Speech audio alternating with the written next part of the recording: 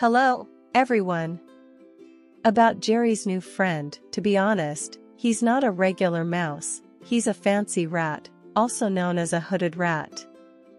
This breed originated from brown rats and has a domestication history of about 200 years. Fancy rats have been kept as pets for a long time, leading to different habits compared to ordinary mice. They adjust their activity time according to their owner's rest time. Fancy rats are very friendly pets, they usually don't attack humans or other animals. At least for now, they get along well with my golden retriever. If raised from a young age, fancy rats recognize their owners.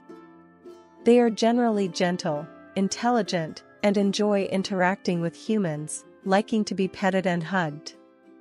Fancy rats have a mild temperament and typically don't bite, but they may react if handled too roughly. Therefore, they make excellent pets.